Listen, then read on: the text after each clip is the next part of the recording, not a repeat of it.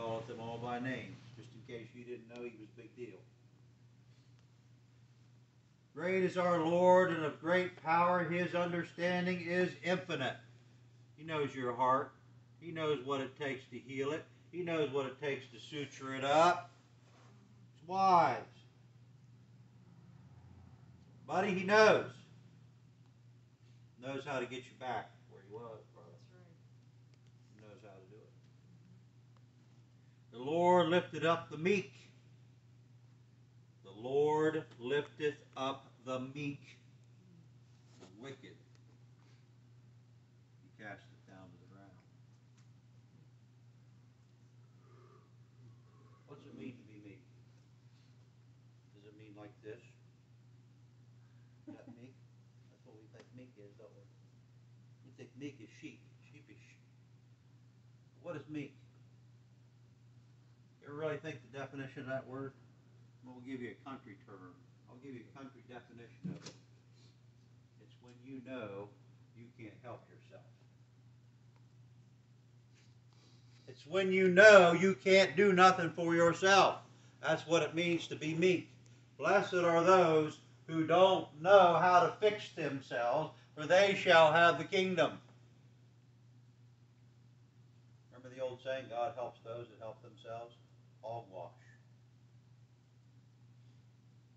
God helps them that can't do nothing about it.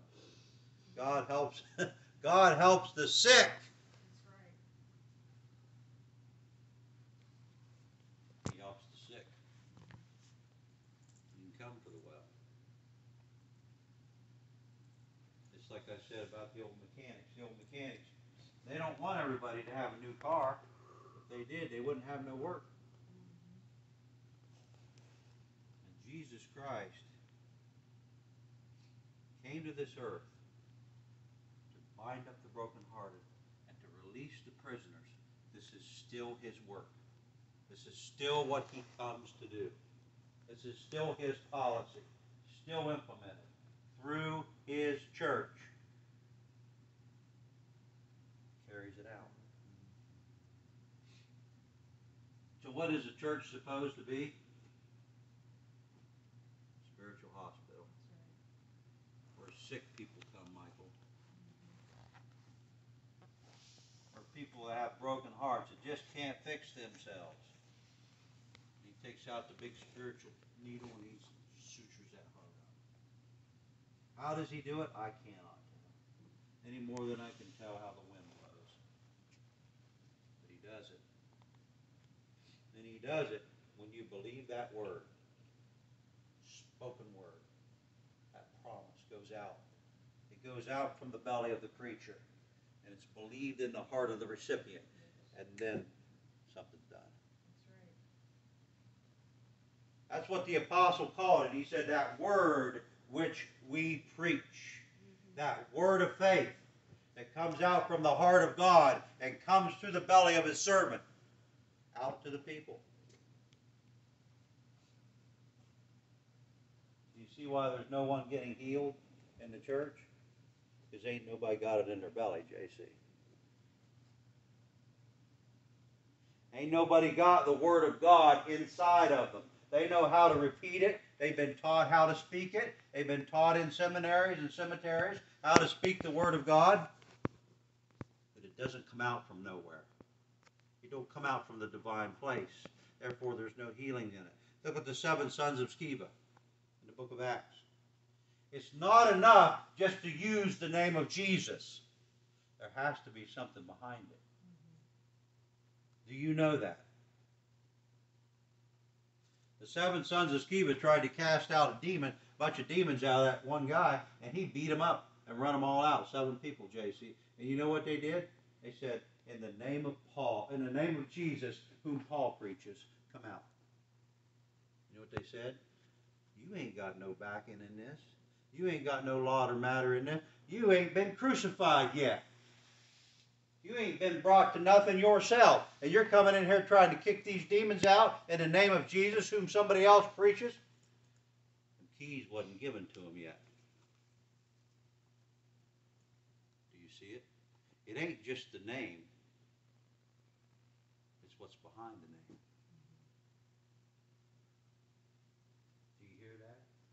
It just ain't confession, it's possession. This is what I have against the sinner's prayer, Courtney, because it's just thrown out there. Repeat after me, repeat after me. Yes, if Jesus rose from the dead, yes, Jesus rose from the dead, blah, blah, blah, blah, blah. And it doesn't save nobody any more than it saves last year's bird's nest. You know why? Because it ain't in words, it's in power. It doesn't come by might, it doesn't come by ingenuity of the mind, me trying to talk you into this. It comes through the Spirit. It comes from the heart of God, through the belly of the evangelist, or the prophet, or the teacher, or the apostle, or the pastor, or whoever. When the Holy Ghost is moving in a person speaking the gospel, in those words is the faith needed to heal the heart. It's the word of faith which we preach. You see that? It's not just the words, it's the words of faith. It comes from God. Oh, I feel that today. We get something substantive back in the hearts of people. And then when they speak, they'll be like Samuel and their words won't fall to the ground. That's what they said about Samuel, words never fell to the ground. You know why? Because he just didn't go out and run in his mouth. When he spoke, it was from God. So it hovered in the air. Well, something grabbed it. Oh, there's power in the words of God if they come from him.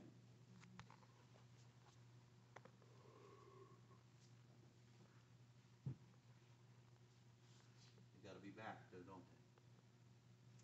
By the Spirit of God. Don't you dare go out there trying to cast out devils till you're told to do it. Don't do it.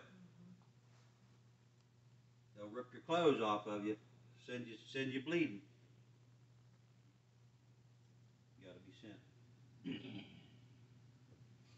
Sing unto the Lord with thanksgiving, sing praise unto the harp unto our God, who covereth the heaven with clouds, who prepareth rain for the earth, who maketh the grass to grow upon the mountains. He giveth to the beast his food. The Young ravens which cry, delighteth not in the strength of the horse.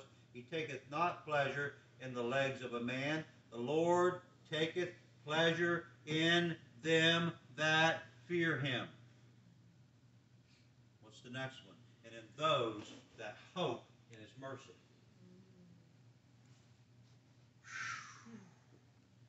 Feel that? Yes. Feel that? Hope in his mercy. Remember how I say it on the chat all the time? You've got one card, Courtney Cannon. It's the card of mercy. That every one of us in here have to be exonerated by the blood of Jesus Christ. Every sin ever committed has to come under that fountain.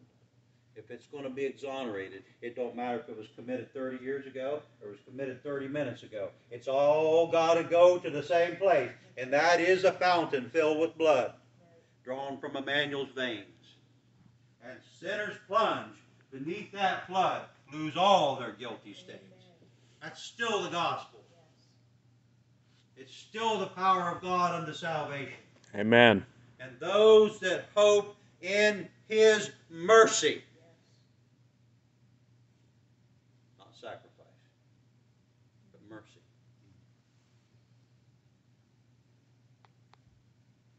Do you know why religion misses it?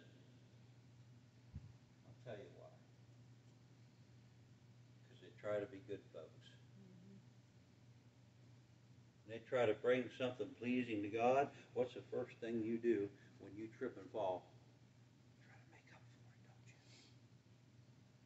You try to make up for it. You go get yourself a mop and you try to clean it up and you try to get rid of it, and then, well, nobody will see that I spilled that. But see, that's sacrifice. And God can't do anything with it. Now, is there restitution and there's things you got to do? You betcha. But you can't put your hope in that. You have to put your hope in the mercy. The restitution comes out of that. If you use restitution as your penance, you miss it. You follow me?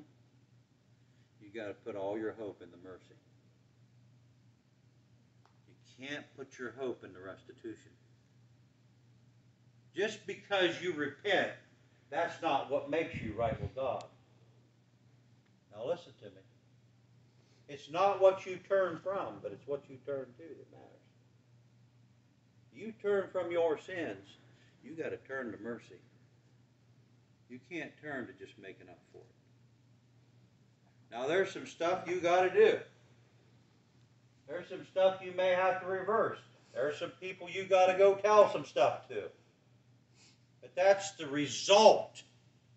That's the byproduct of hearing God, you see. But it's mercy that you need. That's the card you need, buddy. You can't never make up for what you did. I can't never make up for my 10 years of lousiness. I can't make up for it 10 million years I would have. I couldn't make up for the disaster that I called my backslidden life. All the people that I put the gospel to shame, all the people that I put a reproach on, all the people that believed in something that I had, that I left, I cannot make up for that. I can't do it.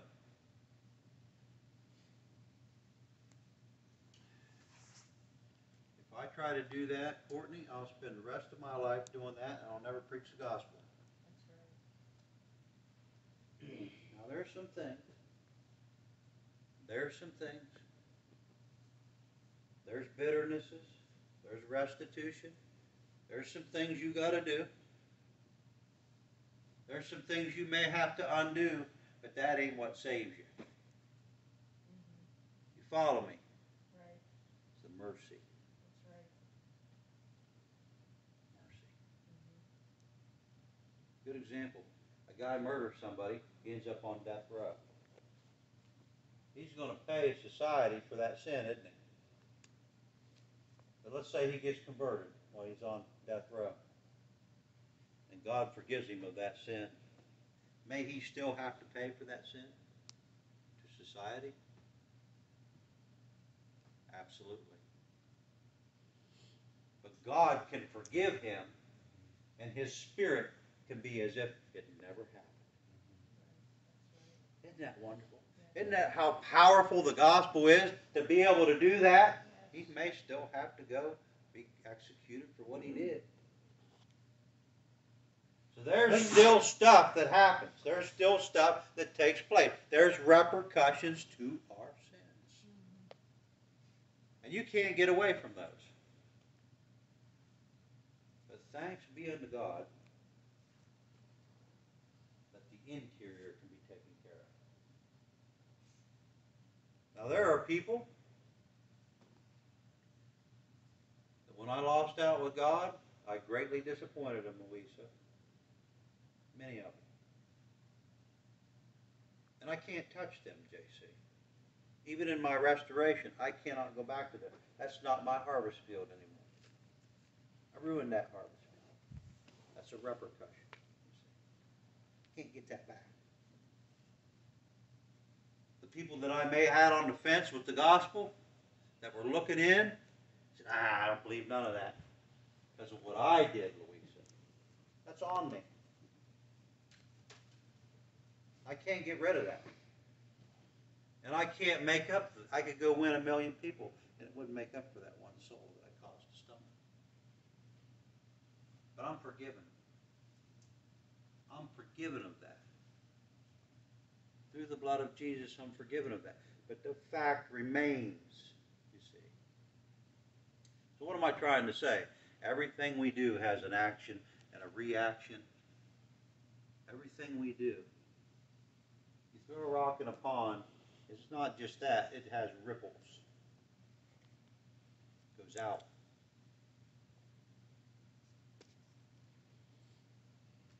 So what am I trying to say? The Holy Ghost has to separate in you mercy from repercussion. You have to understand that. If you don't get that, you won't go nowhere. You just won't go nowhere. You have to understand that the ball may still be rolling, and what you did, but God can have mercy on you. I'm going to show you right here in the book what I'm talking about. Go with me to Second Samuel. I'll show you. The very important message for all of you. Second Samuel chapter 11.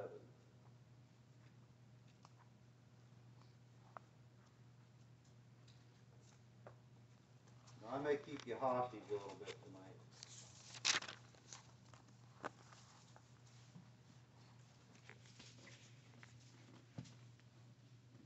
Still love me, don't you? Hmm? Everybody still love me? All right. Maybe some of you didn't love me to begin with. Second Samuel chapter eleven. I'm gonna read a lot, so stay with me, okay? Stay with me. Came to pass, after the year was expired, at the time when kings go forth to battle, that David sent Joab and his servants with him and all Israel, and they destroyed the children of Ammon and besieged Rabbah, but David tarried still at Jerusalem. And it came to pass in an evening tide that David arose from his bed, walked upon the roof of the king's house, and from the roof he saw a woman washing herself. And the woman was very beautiful to look upon. Here we go.